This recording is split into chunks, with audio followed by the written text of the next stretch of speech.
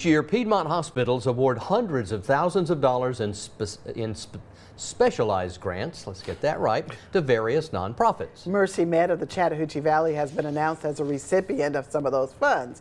WRBL's Hannah James files this report. The nonprofit, faith based health organization MercyMed has been in operation for 12 years. They work to serve those that are uninsured in the Chattahoochee Valley.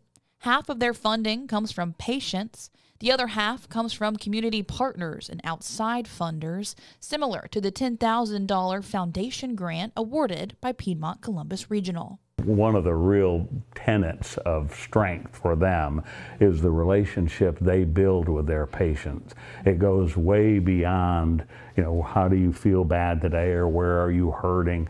It goes much deeper into, you know, what can we do to impact your life? MercyMed started with primary care and has since branched into different specialties like dentistry, physical therapy, nutrition, wellness classes, and eye care for current patients. Where we feel like we add value to our hospital system and to the safety net system is when our patients are in consistent primary care setting to avoid and hopefully get, in, get out in front of these things that could become a crisis. Part of MercyMed's mission is to assess different social determinants of health, including cost of living, transportation, education, employment, and others by offering clothing vouchers, housing allowances, access to fresh food, and in the future, prescription medications through their pharmacy.